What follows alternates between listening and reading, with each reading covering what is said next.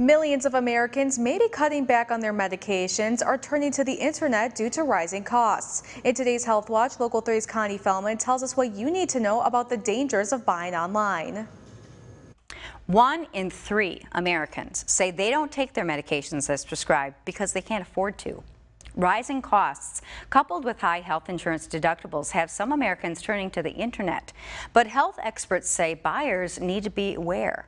The search for life-saving drugs can have life-threatening consequences. For the 37 million Americans with diabetes, insulin is a critical part of managing high blood sugar.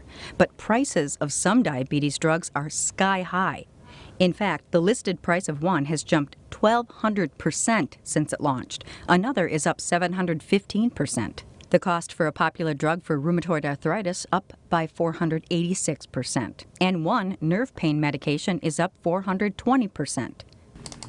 More and more Americans are searching for better prices on the internet, but health experts say buyer beware. One of the things we have is a project where we order prescription drugs from online pharmacies, analyze them, and see what you're actually getting. Researchers found some online pharmacies were fake storefronts running scams with expired or unidentified, potentially dangerous chemicals. Some of the tested drugs were inconsistent.